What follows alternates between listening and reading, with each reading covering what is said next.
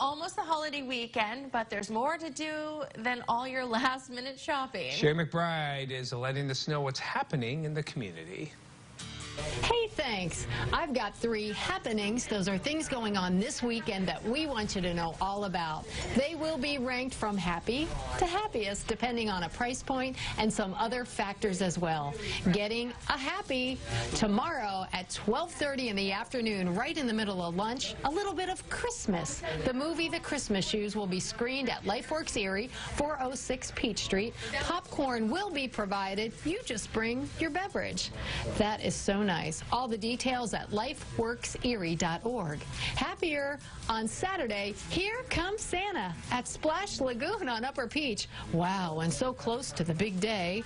Uh, there will be reindeer food and cookies, and you can make ornaments. Call Splash Lagoon for more at 814-217-1167. And happiest because it's free. On Sunday night, pack everyone in the family ride, including the dog, and let your eyes feast on the wonder of the season, the colors, the lights, the wreaths, the peace. For unto us a child is born. Merry Christmas.